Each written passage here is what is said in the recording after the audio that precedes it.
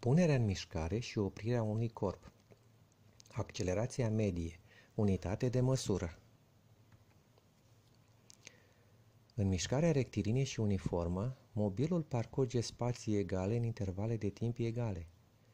Viteza mobilului este egală în orice moment cu viteza medie, ceea ce din punct de vedere matematic se scrie prin expresia v egal constant, adică ea își păstrează mărimea, direcția și sensul. Când plecați de pe loc cu mașina, cu bicicleta, cu trenul sau cu vaporul, viteza voastră la început este egală cu 0. Apoi viteza crește, în mod constant sau uniform, sau aleatoriu, neuniform, așa după cum vrea conducătorul vehiculului sau după cum se prezintă drumul. La fel se întâmplă atunci când opriți. Viteza nu mai rămâne constantă, ea scade, fie constant sau uniform, sau neuniform până când atinge valoarea finală V egal 0. În ambele cazuri, viteza variază. În primul caz, viteza crește, în acest caz mișcarea este accelerată. În al doilea caz, viteza scade și mișcarea este frânată.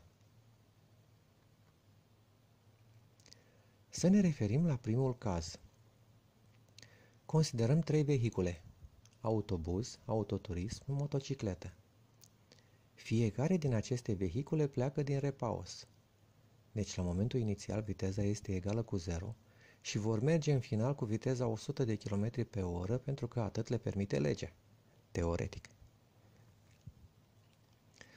Un autobuz poate atinge 100 de km pe oră în 10-12 secunde. Știți de sigur că mașinile de curse ating 100 de km pe oră în 3-4 secunde. Motocicliștii turează motoarele și ating 100 de km pe oră în 2-3 secunde. În cele trei exemple avem trei mișcări diferite. Toate vehiculele pleacă din repaus și ating aceeași viteză după intervale diferite de timp. Pentru a diferenția mișcările de acest tip, s-a introdus mărimea fizică accelerație, cu simbolul amic. Pentru mișcarea rectilinie în care viteza crește sau scade uniform, denumită mișcare rectilinie uniform variată, accelerația este constantă, are aceeași valoare și se definește ca fiind variația vitezei în unitatea de timp.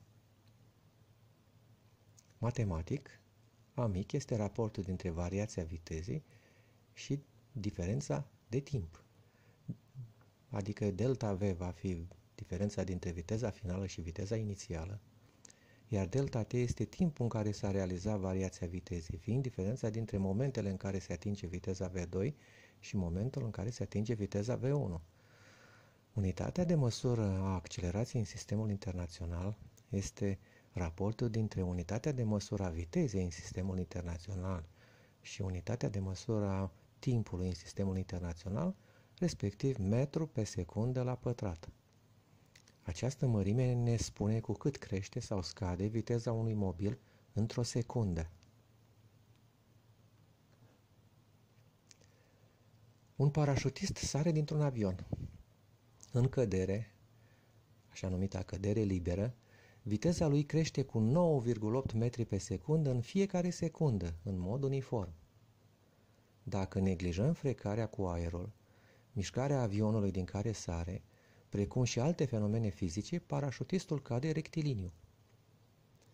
Dacă considerăm doar primele 10 secunde din mișcarea sa și că în cădere pleacă din repaus, parașutistul va atinge viteza de 98 de metri pe secundă în 10 secunde, pe care am obținut-o aplicând relația A mic delta V supra delta T, unde viteza finală este 98 de metri pe secundă iar intervalul de timp în care o considerăm această variație este 10 secunde.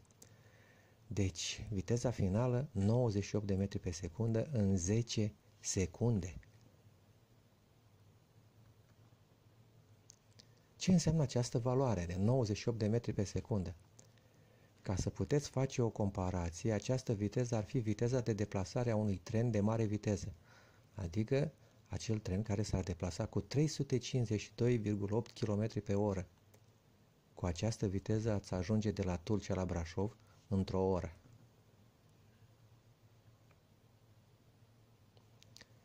Dar parașutistul trebuie să facă ceva în cădere, altfel, la viteze atât de mari, la contactul cu pământul ar muri pe loc. Ce face el? Deschide parașuta, care frânează mișcarea până la viteze la care contactul cu pământul nu este periculos.